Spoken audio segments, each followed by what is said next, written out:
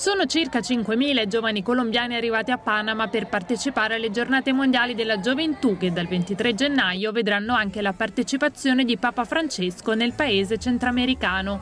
Arrivano con speranze e anche con la preoccupazione di un processo di pace, quello tra il governo e le FARC, che nel loro paese subisce continue battute d'arresto. È un'esperienza di fe, di vita realmente gratificante y no, muy contentos con, con todo lo que hemos vivido y expectantes con lo que vamos a vivir en los próximos días. Desafortunadamente, pues en el país están pasando cosas eh, no muy positivas. Eh, el proceso de paz. En nuestro país, la esperanza es salir adelante, que tengamos un futuro, porque últimamente se han visto pues muchos atentados.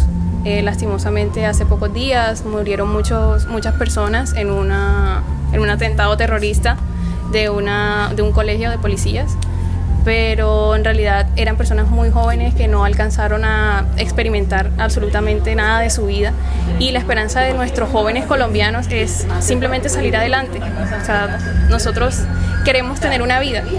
Eh, no es la primera vez que veo al Papa porque ya había ido a Colombia una vez, pero espero esta vez sí poder verlo más cerca porque en aquella ocasión no, no tuve la oportunidad, pero sí.